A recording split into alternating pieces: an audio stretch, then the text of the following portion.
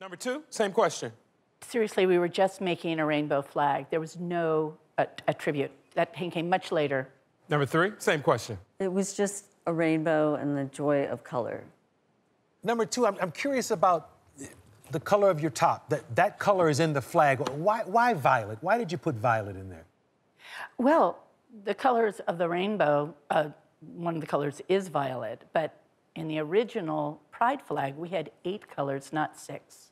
And purple was one of the colors. So, sometimes purple is looked at as, as evil.